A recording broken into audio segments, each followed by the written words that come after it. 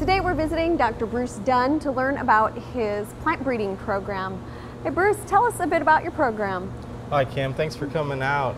Uh, for this program, we've got about six different genera that I work on. Mm -hmm. uh, mainly looking at drought tolerance, uh, other plants. It might could be for flowers or could be for growth habits. And you're working mainly with uh, herbaceous perennials, right? Yeah, herbaceous perennials. I prefer that they, you know, be perennial that they're going to come back, but also we'll work with annuals as well. And how did you identify this the groups of plants you want to work with?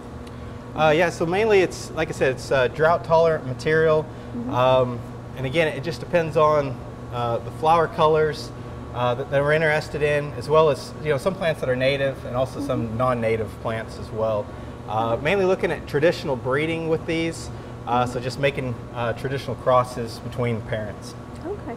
Now, when you've identified a group that you want to work with, where do you get started uh, as you initiate a, a, program? Yeah, so initially that's the hardest part is actually deciding you know which plants that you want to work with. Maybe there's mm -hmm. something that you've worked with uh, for a while in your garden, something that catches your eye, uh, something that you think that you can maybe improve on. Maybe it's the flower color.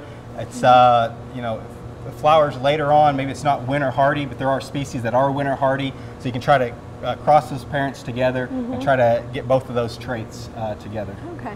So you need to um, collect the material you want to work with, and I imagine that could be rather extensive. yeah, so it depends on the genera. Uh -huh. So, you know, something like these uh, rain lilies here, mm -hmm. uh, you know, you maybe have 30 uh, to 40 different species. Mm -hmm. other ones like this uh, glaucium here, mm -hmm. you've got two different species. So it's a lot easier once you collect those two species there's not a lot of uh, different combinations that you can make with these, okay. uh, but it is, you know, once you collect those, you've had those two species. So you bring in all the seed from those species and start growing out the plants.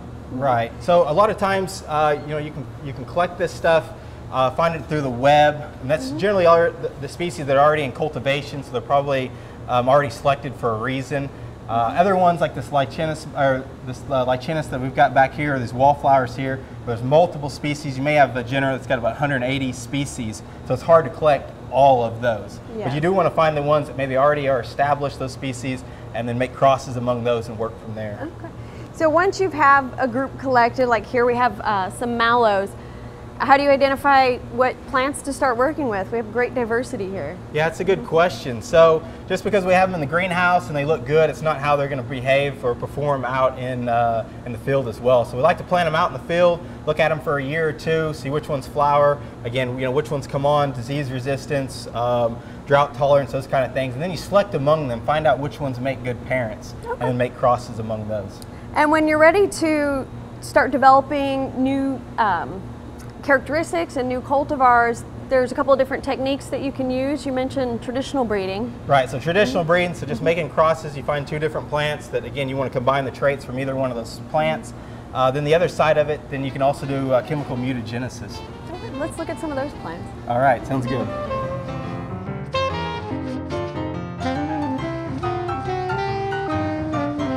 Well, Bruce, explain what mutagenesis is.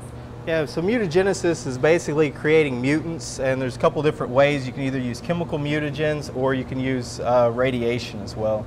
Okay, which techniques do you use? Yeah, so I use chemical mutagens, something like uh, EMS, ethyl methyl sulfonate. Mm -hmm. It's a pretty hazardous chemical, so you want to make sure and use gloves, uh, any kind of respirator, work under the hood whenever you're working with this chemical. Okay. Um, and you apply that to the plants or the seeds? Yeah, so so for this chemical itself, we'll apply it to the seeds. Okay. Um, mm -hmm. So generally, is what we'll do is we'll get a group of seeds, uh, go ahead and put them in tea bags so we can kind of keep track of the seeds in the solution. We soak them for either one day or two, depends mm -hmm. depending on the seeds. Kind of depends on the seed coats on it. The harder the seed coat, generally soak it a little bit longer. Okay. And depending on how long you soak it, it kind of depends on how many plants you'll get back. And that chemical causes the chromosomes to pretty much rearrange and you get some odd characteristics coming out. Right, so it actually causes a nucleotide uh, exchange in it, so it's changing up that, that DNA just slightly. Okay, so here's an example of some treated and untreated, correct? Right, so yeah, if you don't treat the seeds, you get something like this, pretty large seedlings. We can see here that this distorted look.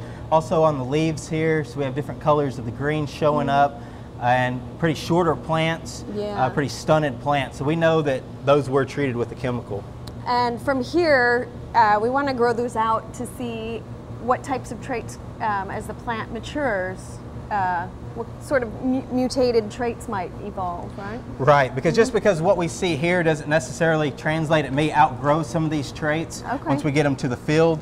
Um, and then, yeah, and, and only what we're seeing, you know, you can see definitely see the leaf distortions on here, uh, but also there may be other traits that it affects, like the flower color, Right. growth habit. uh, could of be, yeah, it could be winter hardiness, size of the plant, those kind of things. So we need to grow it out in the field later.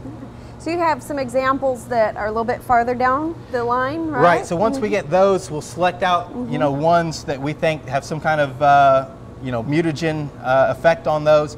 Grow them out. We can see differences here. This is catchfly or lychnis. We can see this is uh, the original plant, and then we can see a mutant here that's got some chlorophyll uh, problems Yeah, going on with it as well. Golden color. Right. Here you have a variegation. Right, so this one, so this one over here, so this is the original plant, and then we can see here that that treated seed, and it's got the, the white margins, uh, variegation associated with it.